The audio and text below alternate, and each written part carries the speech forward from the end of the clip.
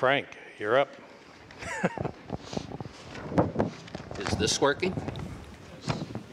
Yes? Yep. Okay. Okay, very good. Uh, okay. Uh, let me just go right ahead here.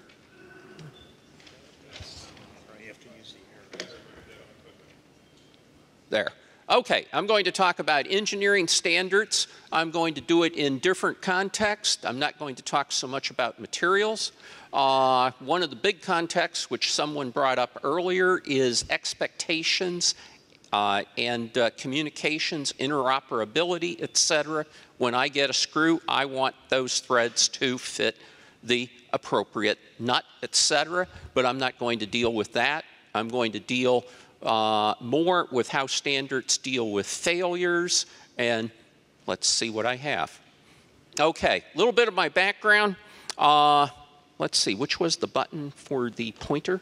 Uh, this top one here. Okay, there, okay. Uh, I do a lot of robotics. That, for example, is a processed uh, uh, image looking at the front of the vehicle. Uh, how about standards for uh, AGVs, autonomous vehicles and stuff coming up? Uh, that's, uh, I think that's probably driving around Cleveland Heights somewhere, and we're looking at, for example, the lane markers, et cetera, to figure out how to drive the vehicle. And by the way, we had a person in the car at the time. It was actually a van. Uh, there's one of our lawnmower robots. That's a fairly early one. Uh, and that, I think, is running around in the football field out there. I do optical sensors. Uh, that's actually a torque sensor that's actually being developed by Rockwell right now to put on Navy ship shafts for their drives. Uh, and I do little things like embedded systems and stuff like that uh, and a lot of RF. Okay, uh, I'm going to concentrate on the teaching side of things. These are some of the things that I teach, but the big things I wanted to point out is where we bring standards in, uh, at least into the stuff I do. Uh, freshman course, the engineering of things. Senior capstone, we heard a discussion about that. That's a great place, and the accreditation people want us to bring standards into the design process, okay? Uh, and that means that the students need to understand the standards. And that gets us into electromagnetic fields, another thing that I teach. Uh, wireless would get into interoperability and expectations of communications. Uh, so, where do I use standards?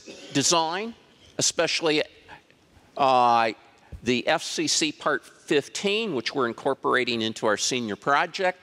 And I do a lot of forensic analysis. When something breaks, people call me to figure out why did it not work.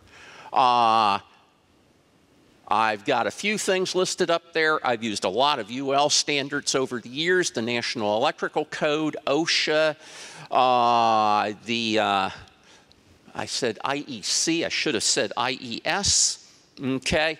Uh, consumer electronics and equipment, uh, drip coffee makers. I'm one of the world experts on deep fat fryers for fast food, okay? I know the secret codes to operate everything at Burger King and McDonald's, okay? uh, fluorescent lighting, Coke cars, industrial heating, electrical distribution, not so much transmission, everything below 66 kilovolts.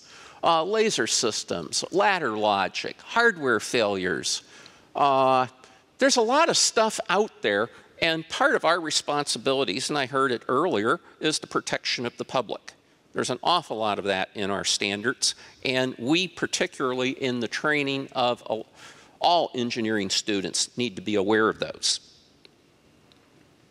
Okay, where do we have it in our EE curriculum? Some of it is very overt and some of it is very subtle.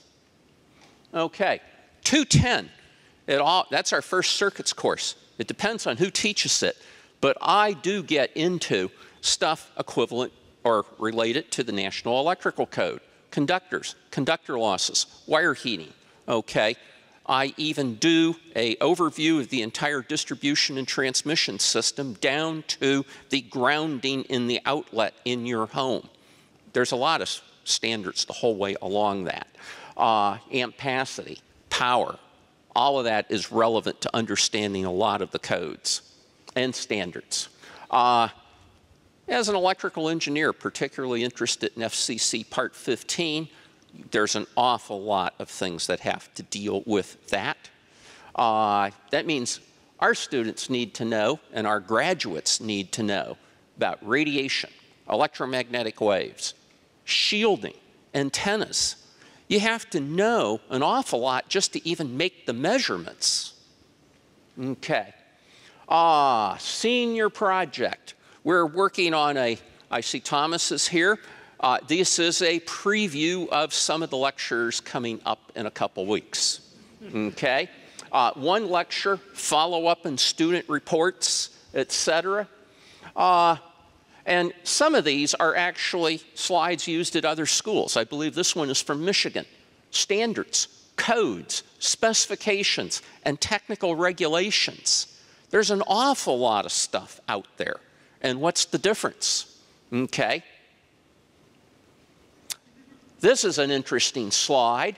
How can we relate all of these standards, rules, and regulations to aspects of electrical engineering? Great matrix slide. This one again from Michigan.